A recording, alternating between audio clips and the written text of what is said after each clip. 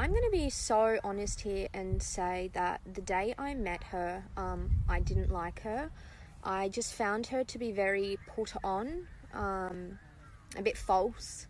Um, however, you know, there was a show to be made. Production wanted Jess, Martha, and I to be friends, so it was like a fake, fake um, friendship made for TV by production. Um, it worked out for the storyline that they had planned. It was edited greatly um, to make us look like you know the three bitchy girls.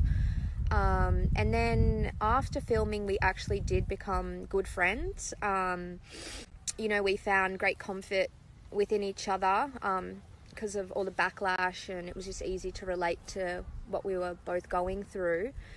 Um, but then I started noticing like really large inconsistencies. Um, me personally, when I've been um, asked to comment on certain people in the public eye, also, I always refuse to comment. Um, I don't like nasty behavior, and that's something I have noticed with her, which is really unfortunate. Um, you know, we were friend, like really good friends at one stage as well. So it's not the easiest thing, you know what I mean? Like I'm not, I'm not a bitch about it. Um, it, it was a little bit like painful. I'm not going to lie. Um, you know, to lose a friend over such like petty things.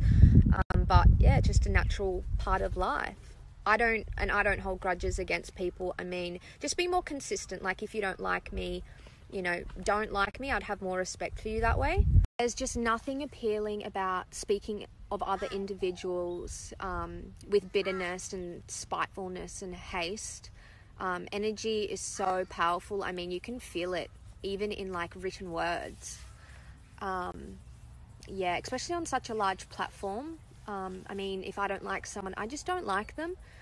Um, and if someone doesn't like me, I just prefer that they don't like me. I'd probably have more respect for them, you know what I mean? It's like a mutual understanding. We just don't vibe. Also, on my way to 30, I think um, it would be extremely shameful and so embarrassing if I have not grown whatsoever over this past year. Um, yeah, so just speaking, um, speaking trash on other women is just, it's just not my style, guys.